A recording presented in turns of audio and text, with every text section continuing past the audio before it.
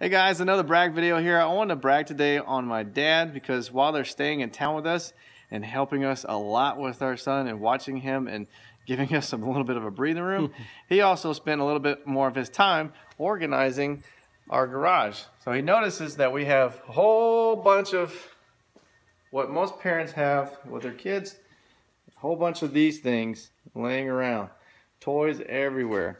And then he builds this this sweet shelf that literally takes up a whole bunch of stuff off the floor of the garage and puts out everything in an organized fashion so we can fit both of our cars inside the garage. It's about to be wintertime and I'm glad he did that. So just want to say thank you, Dad. You're welcome. I love you. Love you too. All right, guys, send me your brag video on someone that you know or someone, a family member helping out. Anyways, have a great day. See ya.